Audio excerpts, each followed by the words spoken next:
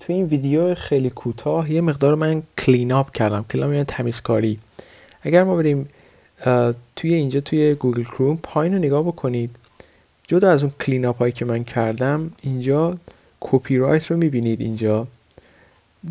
2000 XX زدم. الان سال 2014 برای مثال خب. اگر ما بریم توی footer نگاه بکنیم من اینجا نوشتم کپی رایت و بعد نوشته 20xx به جای اون 20xx چی می نویسیم اینجا اینجا می نویسیم php echo date و بعد capital y. capital y چیکار می‌کنه اینجا؟ capital y ور میداره. این رو داینامیکلی یعنی داینامیک اون سالی که هستید رو در اصل نشون میده. حالا اینو یاد نگرفتید ولی بدونید که date داخل پرانتز capital Y این کار رو برای شما انجام میده. حالا من refresh رو بزنم می‌بینید که الان 2014 اینجا نوشت. بدونید که حتی من اینجا 2014 بنویسم. کار دیگه که کردیم توی edit subject یادتون بود اگر ما می‌رفتیم اینجا و مثلا می‌زدیم edit subject وقتی که من الان من درستش کردم البته ولی قبلا که اینجا اگر نگاه بکنید connection مساوی یک بود اگر یادتون باشه. این مساوی یک چیکار می‌کنه؟ این میگه که اگر یک لانی تحت تاثیر قرار گرفت برای من بگو که مثلا subject updated. ولی اگر کوچکتر از یک بود تحت تاثیر قرار نگرفت چی میشه؟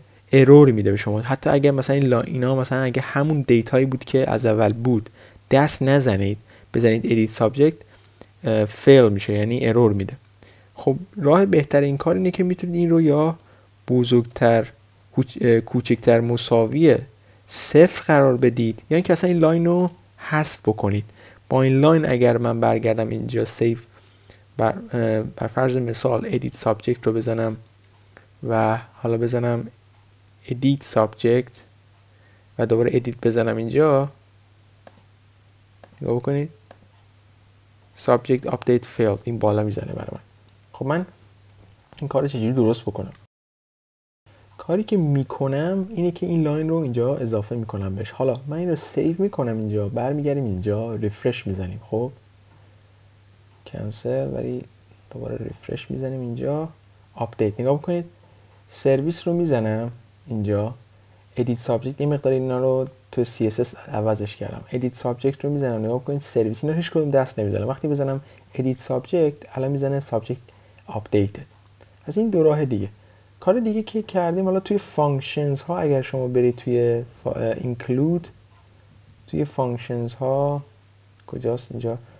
اون جاهایی که احتیاج بود من HTML entity رو add کردم که هم safe تر باشه هم اینکه در اصل چی نشون به شما error ا رو نشون بده. و این مقدار CSS رو دستکاری کردم که این کار رو انجام بده و منیو رو البته بذارید من این manage content menu name رو می‌بینید اینجا. menu name رو توی content manage زیاد چیز کردم اضافه کردم. میگم زیاد کردم.